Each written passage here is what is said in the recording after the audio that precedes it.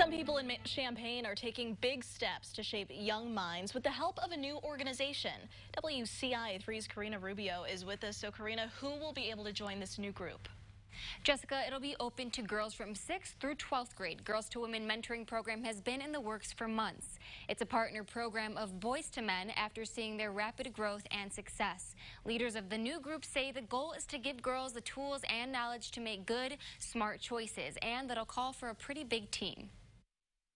On our committee right now, we have professionals, we have working class women, we have high school students, college students. So we have somebody for everybody that's going to be in our group.